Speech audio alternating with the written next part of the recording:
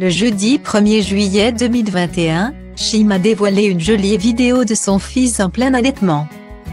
La chanteuse a expliqué qu'il s'agissait des dernières séances privilégiées de son petit garçon de 6 mois.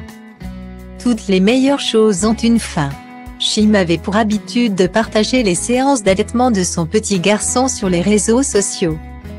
Le jeudi 1er juillet 2021, la jeune maman a annoncé l'arrêt de l'allaitement de son fils.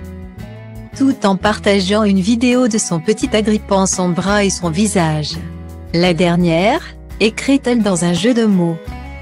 Chim avait déjà publié des images d'elle en train d'allaiter son fils de 6 mois sur les réseaux sociaux. On l'avait notamment vu porter les créations d'une marque spécialisée, avec ouverture facile sur la poitrine où était brodée l'inscription était « Manger ici en français ». Chim attendait réellement l'arrivée de ce bébé. Dans les médias, elle n'avait jamais caché son envie de devenir maman. Parfois avec émotion. Enterrer mes peines et chagrins égoïstes. Adieu fut-il. Nombril, ombre mélancolique. Le 22, 01, 21 et depuis, les plus belles cernes de ma vie. Neuve, vivante, à toi, merci, remerciait-elle à la naissance de son fils.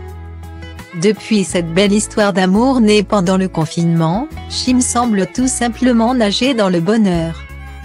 L'arrivée de son petit garçon l'a assurément inspiré dans l'écriture de son prochain album.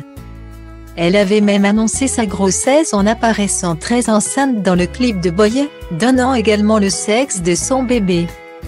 Si Chim arrête d'allaiter son fils à son sixième fois, ce n'est pas le cas d'autres mamans chanteuses. Céline Dion, Cynthia Brown, Nolwenn Leroy et même l'influenceuse Léa Coffran pratiquent l'allaitement tardif et n'hésitent pas à en vanter les mérites.